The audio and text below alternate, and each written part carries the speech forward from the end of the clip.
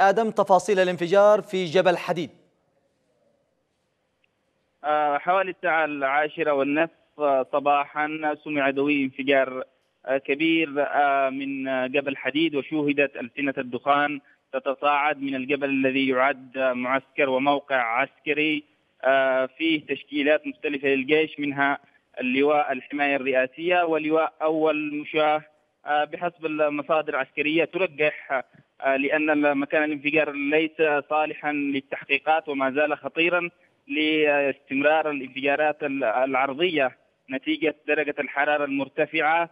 والمصدر قال أن أثناء نقل بعض الذخائر والأسلحة إلى الأطقم وبسبب الحرارة الشديدة واحتكاك إطار إطار السيارة أو أو الناقلة العسكرية حدث ال حدث ال الانفجار أو المس الناري ما بين الذخائر والبارود في الأرض. هذا بحسب رواية أولية لمصدر عسكري.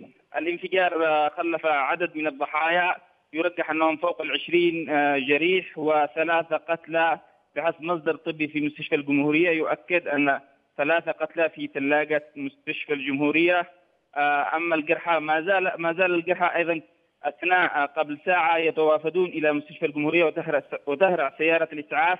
لنقل الجرحى من المكان الذي حدث فيه الانفجار والذي ما زالت آثار الانفجار رغم نزول سيارة الإطفاء لإطفاء الحرائق نعم هل تم السيطرة على هذه الانفجارات وإخماد الحرائق التي حدثت أم لا؟